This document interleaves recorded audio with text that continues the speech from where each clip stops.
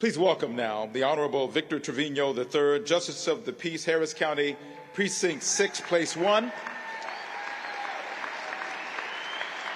He will administer the oath of office for the Honorable Mayor John Whitmire and for the City of Houston and for the Honorable Christopher George Hollins, City Controller elect.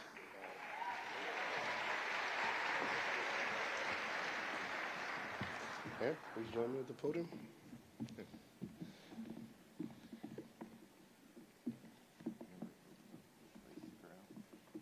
Please raise your right hand and repeat after me.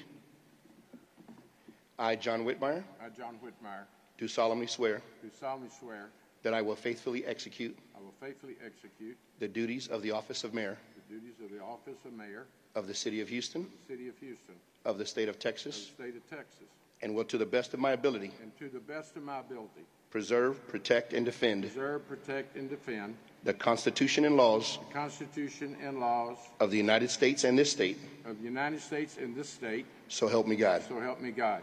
God bless. Congratulations.